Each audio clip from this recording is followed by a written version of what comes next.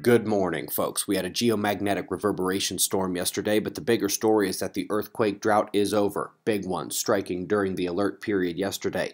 Let's get right to it over at spaceweathernews.com. Folks, solar flaring is dropping back down as the big sunspots have turned away and the next ones incoming don't look too scary. Actually, more of surface plages than umbral cores. We have not seen any further eruptive activity in Earth's direction, and after yesterday's one reverberation storm, the solar wind and magnetic field of Earth are calming down. However, we do have more solar wind on the way from this northern coronal hole, impact probably late tomorrow or early Thursday, but it has also set the earthquake watch. Magnitude 7.7 struck just east of Kamchatka, five days short of six months without such an event. And folks, right now, despite blot echoes on the southern migration fault from there and Earth spot lows spinning nearby, it doesn't look like anyone won the contest and claimed the $500 and ticket to observing the Frontier 2018. If you think you did get it, post it in the forums quickly because otherwise when nobody wins a magnitude 7 event prize goes up $100 so it's now $600 and a ticket to the conference noteworthy that we also took a 6.4 on the Peruvian coastline this one actually struck my red alert zone down there due to blot echoes and intertropical convergence zone anomalies up next. Folks, this animation comes from Chandra. They're peeking in on one of the closest massive molecular dust and gas clouds to Earth, W51.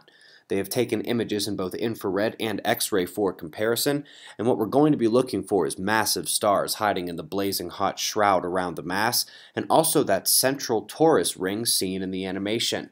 Yellow is infrared, blue is X-ray. Between them and the composite, you should indeed be able to pick out that torus. Up next, folks, a citizen science project detected a brown dwarf only 34 parsecs away. It's only about 100 light years.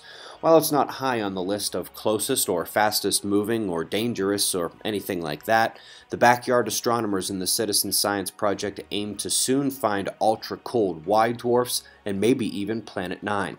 Not X, 9. Anyway, I thought it'd be fun to check out the colder aspects of July. We discussed Chile yesterday, but how about that major snowfall this winter in the U.S. sticking around in the middle of summer? Northern Hemisphere broke a monthly cold record for the planet about a week ago. Deer Park, Washington broke their daily low yesterday by three whole degrees.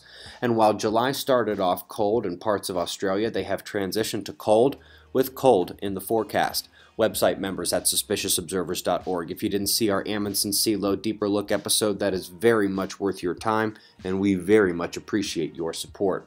We've got your wind maps and shots of our star to close. We'll do this all again tomorrow, right here, but right now it's 5.30 a.m. in the new Valley of the Sun. Eyes open, no fear. Be safe, everyone.